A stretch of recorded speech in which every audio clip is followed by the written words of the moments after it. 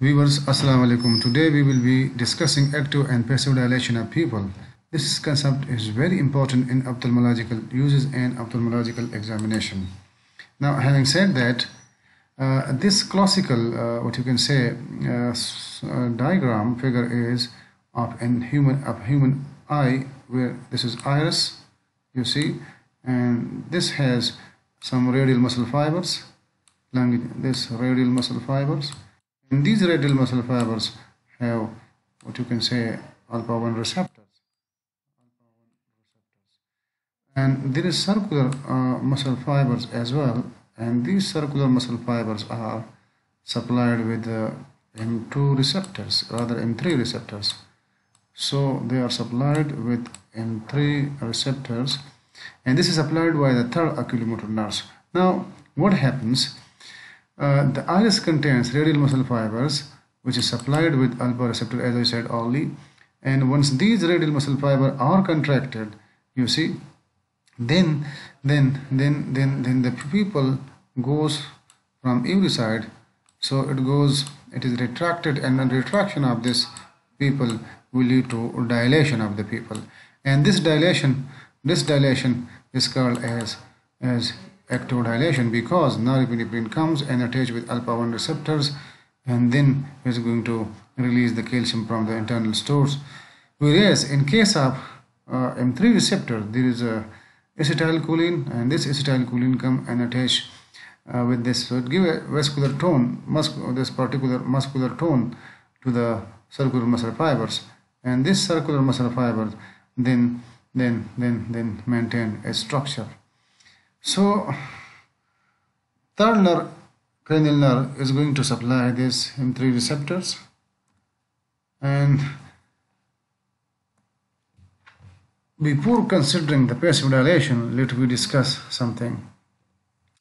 This is a, a classical M1 and M3 receptors supplied with 17 mean transmembrane domains that have 7 7 units. Here are two you can see two, but this is 3, 4, 5 6 and this one 7 you see.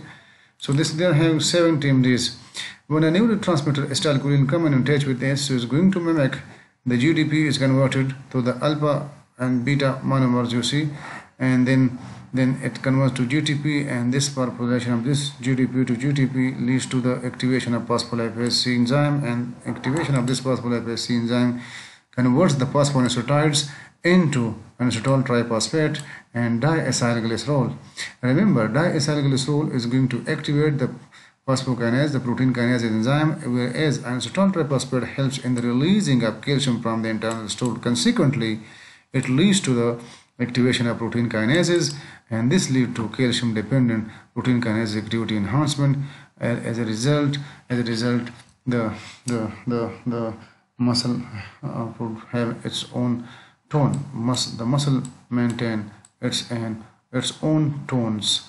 Therefore therefore what is important important is that if we bring here atropine atropine is a classical anticholinergic drugs. So if you give atropine so what will happen? Atropine will dislodge this acetylcholine and dislodging this acetylcholine atropine will come sit here thus atropine will work as an antagonist of this process. Thus the, the, there will be no longer the tone of the smooth muscles of this circular smooth muscle. Consequently this will the pupil will dilate. And once the pupil will dilate then then in the presence of atropine the M3 receptors the acetylcholine is taken off from the receptor sides and the antagonist atropine comes and sit with this.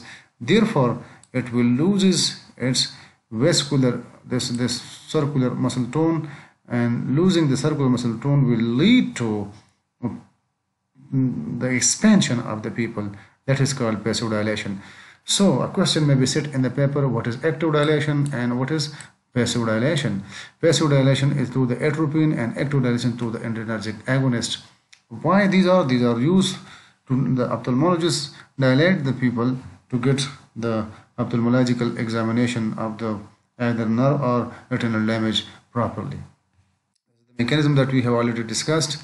Now, in summary, uh, I have radial muscle fiber of the iris.